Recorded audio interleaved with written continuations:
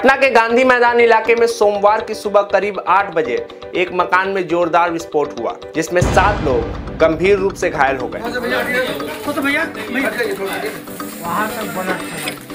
बताया जा रहा है कि घायलों में दो की हालत नाजुक बनी हुई है। विस्फोट में दो घर ध्वस्त हो चुके हैं। सभी घायलों को इलाज के लिए पीएमसीएच में भर्ती कराया गया है। धमाका इतना जोरदार था कि धमाके की गूंज कई किलोमीटर तक सुनाई दी। मामले में गांधी मैदान थाना क्षेत्र के एएसआई श्याम नारायण सिंह ने क्या कहा?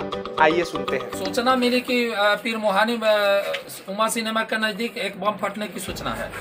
और आग लगने की भी सूचना मिली थी जिस पर हम आकर सत्यापन यहाँ पर तो और लोगों ने बताया कि घर से बम घर में रखा हुआ बम फूटने की सूचना है। कितना मकान क्षतिग्रस्त और दो मकान क्षतिग्रस्त हुआ है पाँच छह आदमी को घायल होने की सूचना कहाँ भेजे हैं? तो? सभी लोग पीएमसीएच गए। पीएमसीएच में जाँच में के गए लिए हैं। और जाँच चल रही है।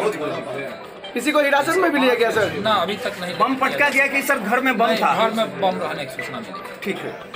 वही स्थानीय लोगों ने बताया कि अहले सुबह आँख खुलते ही लोग अपने काम में लगे थे कि जोरदार धमाका हुआ जिससे उन्हें लगा कि भूकंप आ गया हो।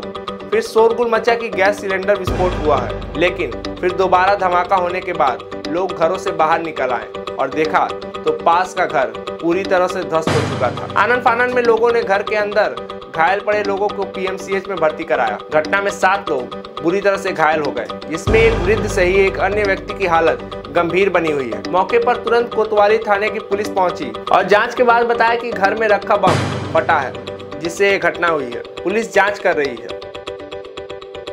भैया। भैया वहाँ तक बना स्थानीय लोगों ने बताया कि इस मकान में एक किराएदार रहता था। वो ऑटो रिक्शा चलाता था। वहीं मकान की मालकिन नीतू देवी ने बताया कि उनके घर में किराएदार पिछले दो महीने से रह रहा था। किराएदार के बारे में मकान मालकिन को भी कोई खास जानकारी नहीं है। आसपास घनी आबादी है।